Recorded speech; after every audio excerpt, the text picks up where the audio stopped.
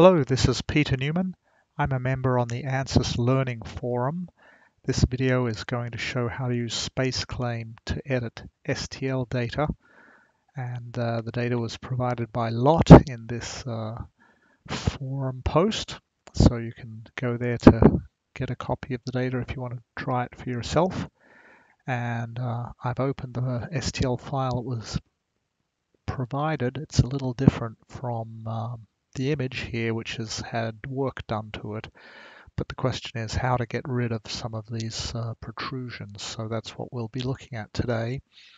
And uh, I'm driving with a space mouse, which lets me uh, zoom in um, with an extra device on the desktop.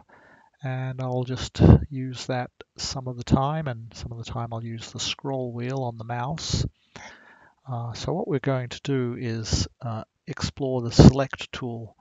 And the select tool is how you get rid of things. So the uh, first thing is you can pick a single item and hit delete and it's gone. If you double click, you can actually get a um, set of faces that are similar in um, tangency to that face that was picked. Uh, now, when you get too many, you just click outside and say, no, I don't want that. Now, there are other tools that you can use, which is uh, box select, and uh, those are found here. So there's the box select tool. And when you're selecting box, there's two settings, visible and through. So if I box select uh, over here and um, pick those, only the uh, facets that are completely inside the box are selected. If I, on the other hand, go in the opposite, if I, on the other hand, go, uh, let's go over here, if I go uh, left to right instead of right to left, then anything touching the box is selected. So be aware of uh, left to right versus right to left, and most useful of all is through, so if there's nothing behind the thing you want to delete, you can come here and uh, get things on both uh, sides of the thing at once. And so box select is going to get us down pretty close to um, a clean edge. And then some of the final uh, cleanup will be with the paint tool. So we'll switch from box select to paint, and now we can paint across and pick up things that just stick up a little bit too much. And uh, we want to be aware uh, we were using the through tool or the through setting. So we're going to hit escape and uh, change from through to visible because when we're picking these, we don't want to go through to the other side. So I'm going to paint now with through turned off, knowing that only things I touch will get taken and things behind will be safe. So that's the uh, important distinction on through versus uh, visible. And uh, so we'll just keep tidying up a little bit these edges. And uh, there's there's one single piece that uh, that's actually a sorry that is a uh, not sticking up, but it's a, uh, oh, yeah, these couple are sticking up.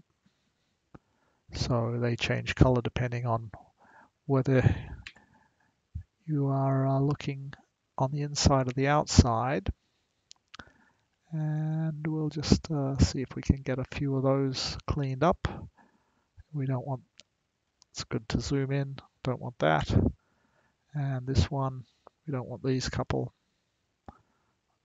but I I clicked I, I painted too far.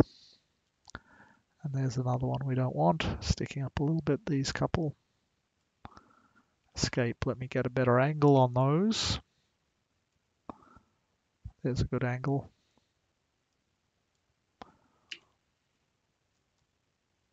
So at the end of the day um, hit Z for zoom when you when you space mouse all the way too far out. Since this is just a demo, we're not gonna we're not gonna make it perfect, but that's pretty darn good. And so um, what can happen, which I'll show over here uh, later, is some pieces get left. And the way to check if there's anything is use the separate all, but there's nothing left hanging out in space. So we're good to use the fill holes tool. It finds all the holes and you just say fill that one. And you can see I've still left a few things pointing up, so it, it poked up a little. If you wanted to do more work, you'd simply undo and go back to the select tool and say, ah, let's uh, paint over a few more of these to get rid of that upward trend, which was not desirable. Uh, and see if we get a little flatter, uh, a little flatter attitude. And maybe these few here. So uh, maybe those few there. So that may be a better way to fill that hole. And yeah, it's not it's not poking up so much. So that's the general approach. Uh, just we'll finish off with this other comment on um, leaving pieces behind. So if we zoom in here and we were to use a uh, box select and through, so we're going through with the box select and we come and we take uh, we're on the holes tool, we need to be on the select tool, okay, and now we can box select, hit delete. Uh, now if I use the separate all, um, this is separate from that and before they were together. So I can now just hit the delete key and get rid of things like that. So uh, another right to left. And that may be good. We're going to do a separate all. Nothing's left sitting out. So we'll use the holes tool and fill that hole. It's still protruding up a little, but um, that's what we're uh, that's the purpose of the video is how to get rid of those those features. So the this one probably can get rid of pretty quick. Now I dug into the if I get it a little flatter and uh, and then paint a little bit around the edges.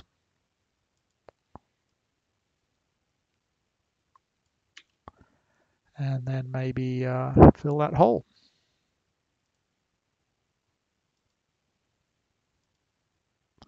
So back to the select tool, always good to go back to the select tool.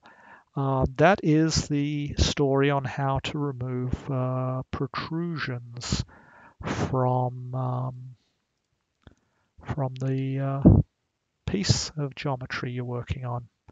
Thanks for watching. Bye.